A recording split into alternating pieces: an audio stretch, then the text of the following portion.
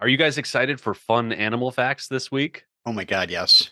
so many fun animal facts, so many names that I've looked up and have zero practice in pronouncing. So this is Oh. the sword blade folding episode of Beastmaster. Oh, no, nothing will match Is there math? having to wrap my head around sword folding. Are there any other sword movies that might have animal facts needed? Hmm. because I think this is it. This is the one. Animals will be present in other movies, but th- to quote Marc Singer loosely, the animals are the real star of the show. Mhm.